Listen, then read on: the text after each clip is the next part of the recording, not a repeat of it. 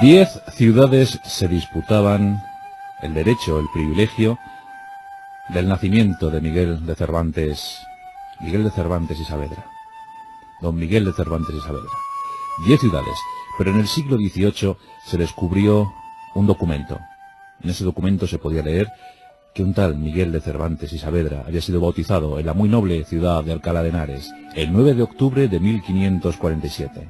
Por tanto, el privilegio es para Alcalá de Henares. A no ser que alguien diga lo contrario en estos, en estos tiempos inciertos. Pero no, es Alcalá de Henares, cuna del genial autor Miguel de la Cuadra. No, Miguel de Cervantes y Saavedra. Un orgullo para todos, un orgullo para nosotros, un orgullo para las letras mundiales.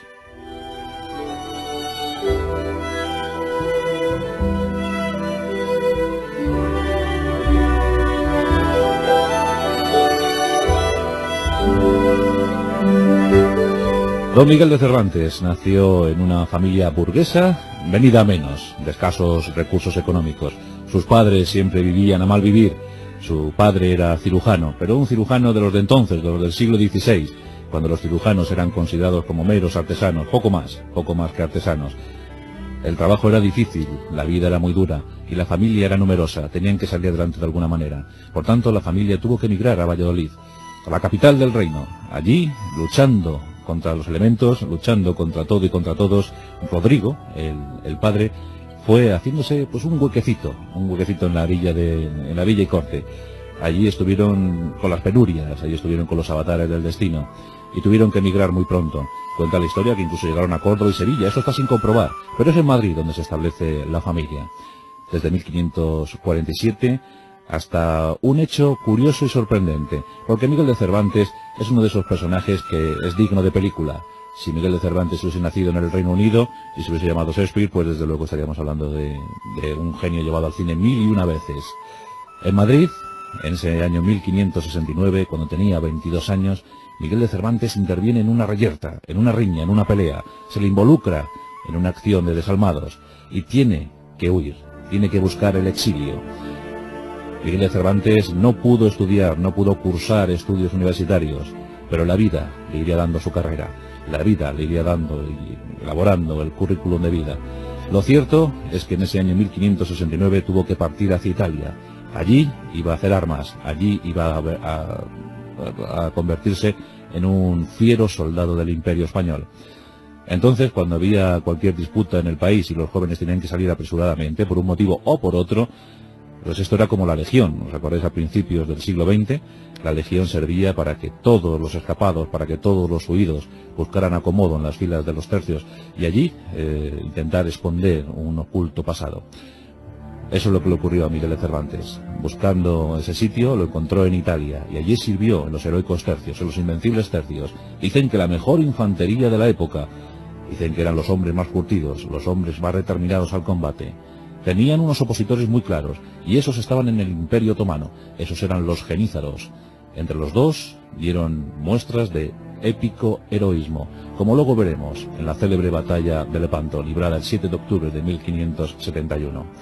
Pero en 1569 tenemos a un Miguel de Cervantes con 22 años, deambulando por los territorios italianos, apuntado a los tercios, y ya viendo como la hegemonía de los otomanos, la hegemonía del turco, empezaba a cubrir todo el Mediterráneo, la eterna Bizancia, la antigua capital del Imperio Romano Oriental. En 1453 dicen los expertos que terminó oficialmente la Edad Media. Y los que pusieron fin a esa Edad Media fueron los otomanos.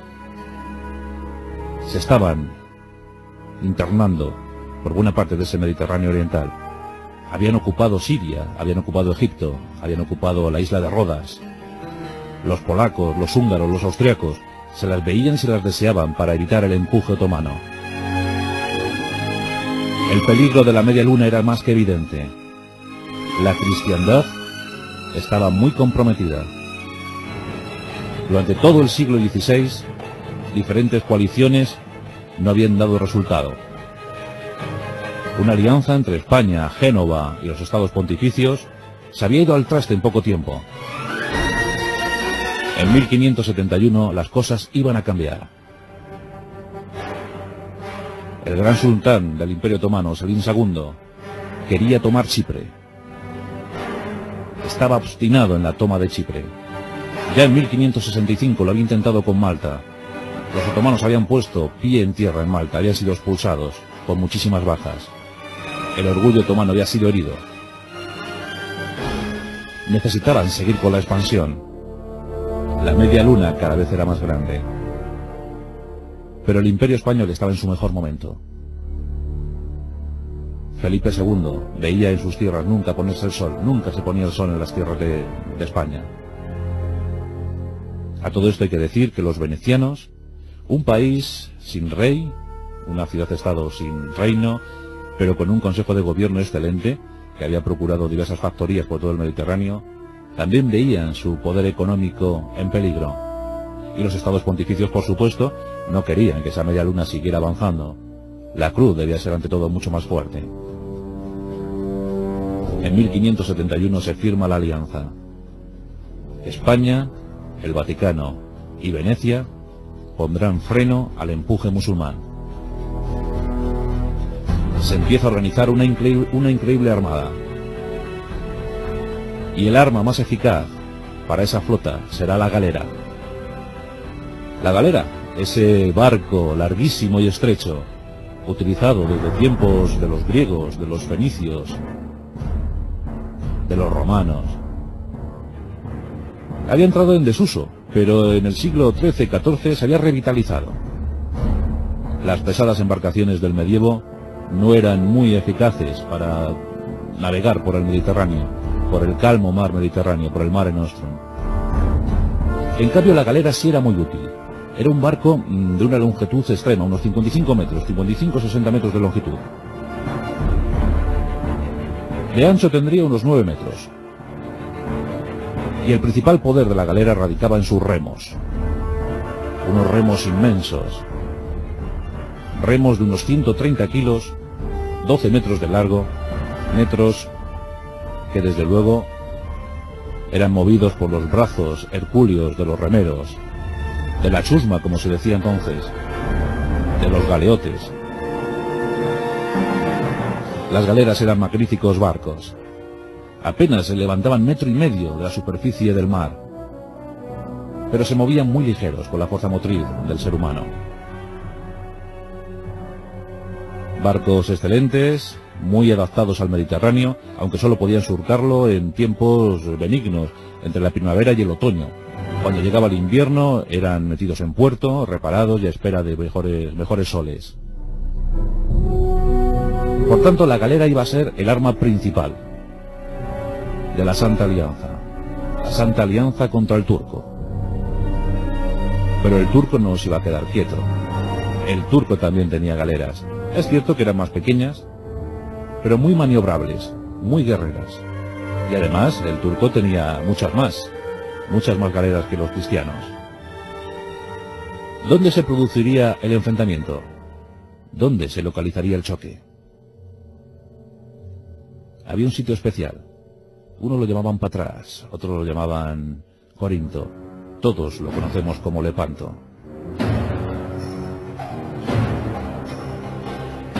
Las dos armadas que se iban a enfrentar eran muy potentes.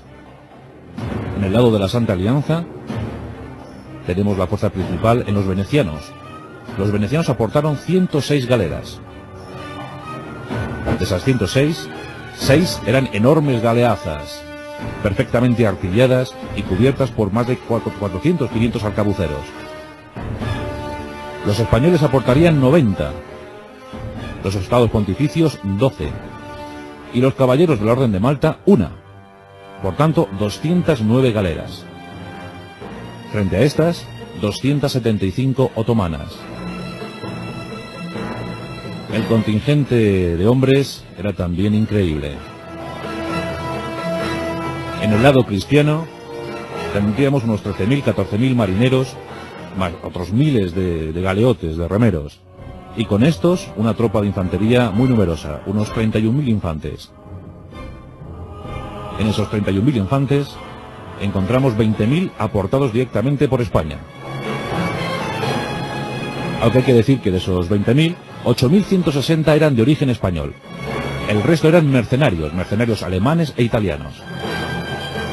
Venecia aportó 8.000 hombres. Los estados pontificios 2.000. Y otros 1.000 que los encontramos como voluntarios, de diferentes nacionalidades, que se quisieron incorporar a la empresa de la cristiandad. Por tanto, 31.000 soldados, unos 13.000 marineros y miles y miles de galeotes ante él. Era una línea de casi 6 kilómetros de longitud. Imaginó la situación, 6 kilómetros de galeras formadas ante la nave pequeña de Don Juan de Austria. El espectáculo debió ser admirable. Cada galera llevaba su dotación de hombres, 400-500 hombres, además de 10 cañones preparados para el combate. Frente a ellos, las 275 galeras musulmanas. Estas no, no tenían apenas retaguardia, una retaguardia muy pequeña, muy disminuida, porque estaban tan convencidos de su victoria, hasta entonces había una especie de complejo de inferioridad en los cristianos, pensando que los musulmanes, que los otomanos eran invencibles, no había quien les pudiera parar. Los otomanos, por tanto, pensando en esa invencibilidad, optaron por una larga línea, una larga y delgada línea, que se iba a batir contra los cristianos y que en poco tiempo les iba a despedazar. Por tanto, descuidaron muchísimo sus flancos y su retaguardia. Estaban convencidísimos de su victoria. Selim II había encomendado la misión de la flota musulmana a Ali Pachá. Ali Pachá era un gran almirante, un hombre muy combativo, muy determinado siempre a la victoria. Muy pocas veces había tenido que huir o había tenido que escapar, casi nunca. Con el albor del día, las naves se fueron acercando, se avistaron y empezó el combate. Empezaron las salvas de artillería. El estruendo se pudo escuchar a varias millas de distancia. Las dos formaciones se fueron acercando paulatinamente. Los hombres en las naves cristianas cargaban los arcabuces. Los arqueros en las musulmanas preparaban sus flechas envenenadas. Las galeras eran conocidas por sus famosos espolones, espolones en proa. Esos espolones se hincaban en la galera enemiga y entonces llegábamos a la guerra galana. La guerra al abordaje, la, la táctica favorita para las tropas cristianas. Aquello debió ser espeluznante. Al final las dos formaciones chocaron y el choque dio como resultado centenares de miles de astillas, hombres cayendo por la borda, flechas surcando los cielos. Dicen que las flechas musulmanas podían nublar el sol. Los arcabuceros cristianos se emplearon a fondo. Las naves iban enzarzando en combates individuales. El cuerpo central de Don Juan de Austria entró en combate prácticamente a los pocos minutos. Se sabía que las dos naves centrales, la sultana de los otomanos y la real de los cristianos, tendrían inexorablemente que entrar en contacto. La toma de los estandartes era vital. Si caía cualquiera de las dos capitanas, el balance se decantaría al lado de uno o de otro. Al fin, las dos naves capitanas se divisaron. Sin pensárselo dos veces, Ali Pachá dirigió la nave sultana contra la real e incrustó el espolón de proa en la nave cristiana. Dicen que el espolón entró cuatro bancos de remeros, destrozó cuatro bancos de remeros. Las dos naves quedaron engarzadas perfectamente, lo que se convirtió en una plataforma de combate de unos 110 metros de longitud por 9 de ancho. Allí, otomanos y cristianos lucharon con tenacidad. Los combates de Lepanto se prolongaron durante cinco horas. La sultana llevaba como escolta siete galeras, siete galeras que la proveían de suministros, municiones y hombres. La real llevaba dos. Los cristianos lanzaron al ataque. Dos ataques sucesivos, repelidos otras tantas veces por los musulmanes. Cientos de hombres iban cayendo al mar. Dicen, cuentan las crónicas, que la sangre lo cubría todo. El mar ya no era azul, el mar era rojo. Hubo un contraataque de los otomanos, y en ese contraataque estuvieron a punto de tomar el estandarte cristiano, pero no lo consiguieron. La lucha era denodada. Las galeras iban enzarzando en múltiples eh, combates, muy comprometidos unos, pero siempre, siempre la victoria se iba decantando del lado cristiano. La preparación de la infantería española dio excelentes resultados. Los tercios de Alejandro Farnesio empezaron a gozar de muchas victorias. Las naves otomanas se iban hundiendo, una tras otra. Finalmente, se lanzó un último y desesperado ataque desde el lado cristiano hacia la sultana. Y ahí sí, ahí ya cayeron. Ali Pachá fue abatido por varios tiros, por varios arcabuzazos. Y un malagueño, un marbellí, un soldado español llamado Andrés Becerra, tomó el estandarte otomano. Se lo enseñó a don Juan de Austria, este lo contempló orgulloso. Un remero español, un galeote, cortó la cabeza del musulmán y también se la enseñó a don Juan de Austria. Este, con un gesto de asco, le ordenó tirar la cabeza al mar. Fue prácticamente el fin de la batalla de Lepanto. Los resultados para los otomanos fueron desastrosos. 130 galeras capturadas, 96 hundidas, y las que quedaron escaparon a duras penas. Incluso los otomanos llegaron a quemarlas para que no cayeran en manos de los cristianos. En el lado de los cristianos, tan solo 15 galeras fueron hundidas. Una de ellas, curiosamente, la de los caballeros de la Orden de Malta, a los que incluso se les tomó el estandarte. Las bajas fueron cuantiosas, muy cuantiosas. En el lado cristiano, 10.000 muertos, 7.700 en combate, 2.300 víctimas del veneno de las flechas o de las heridas producidas. Demasiados muertos. Pero en el lado musulmán fue todavía peor. 30.000 bajas entre muertos y heridos.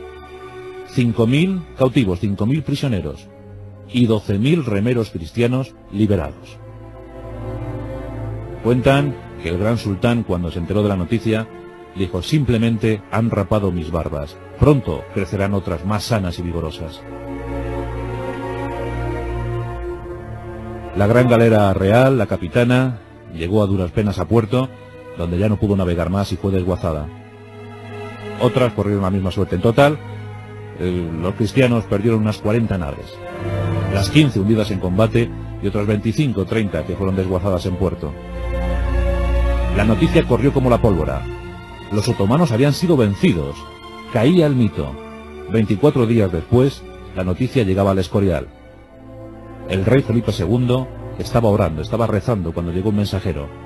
El rey le miró, le dijo, sosegaos y pasemos al coro donde, donde me podéis dar detalle de todo lo ocurrido.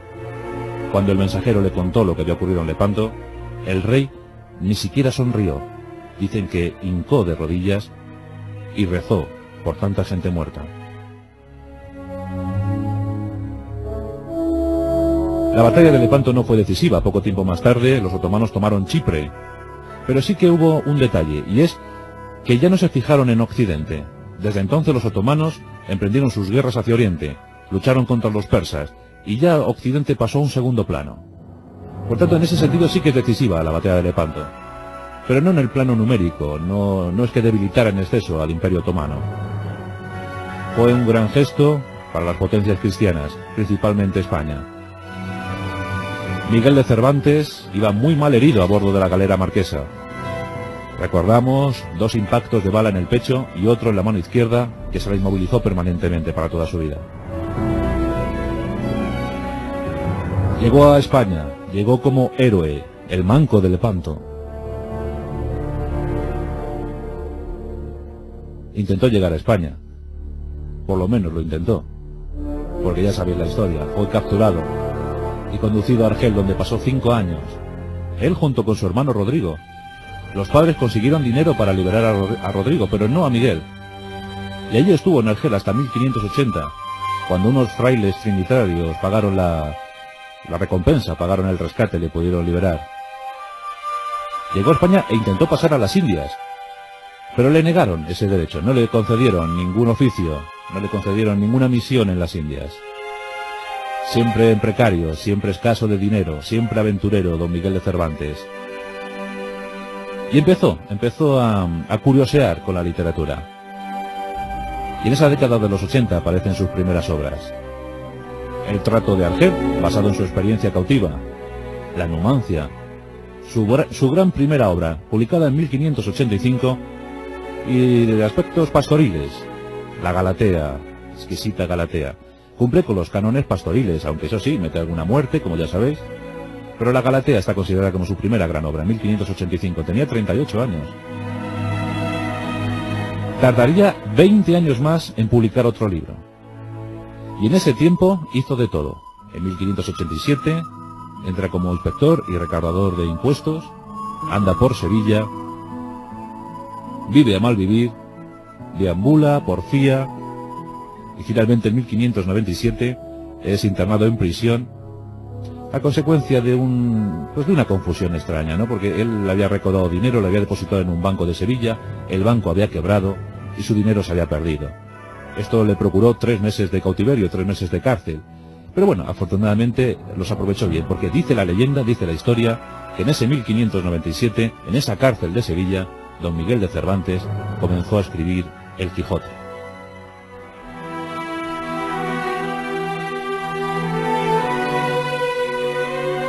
Después de un corto periplo por Valladolid, donde ya era reconocido, en 1605 se publica El Quijote, 20 años después de la Galatea.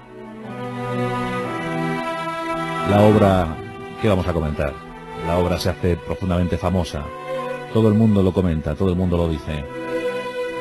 Miguel de Cervantes se va haciendo un nombre, se va haciendo un hueco en el siglo XVII. En 1613 llegan sus novelas ejemplares, 12 relatos cortos, que impresionan a todos. Además, el Quijote se empieza ya a traducir al inglés, al francés, al italiano. Algunos critican la obra de Don Miguel de Cervantes, algunos piensan que el ingenioso hidalgo Don Quijote de la Mancha es simplemente un cuentecillo. Incluso algún aventajado saca una segunda parte en 1614, diciendo que es la, segunda parte del ingenioso hidalgo. Lo único que pretendía era criticar, claro, ironizar sobre la obra de Don Miguel de Cervantes. La respuesta fue inmediata. En 1615 aparece la segunda entrega. Las andanzas de Don Quijote, de Don Alonso Quijano y su querido Sancho Panza. Ese final en las playas de Barcelona, a cargo del caballero de la Clara Luna. Llegan también las ocho comedias y los ocho entremeses, nuevos y sin representar, sin haber sido representados la obra de Don Miguel de Cervantes. En 1616, el 22 de abril de 1616, fallece en Madrid Don Miguel de Cervantes. El 23 de abril, igual que Shakespeare, el 23 de abril de 1616, es enterrado en el convento de las Trinitarias de Madrid. Los ideales de Don Miguel de Cervantes, los entusiastas ideales de Don Miguel de Cervantes habían quedado atrás. Ya no era el de Lepanto, ya no era aquel joven enérgico y audaz que víctima de la malaria aún seguía combatiendo al otomano a bordo de su galera marquesa.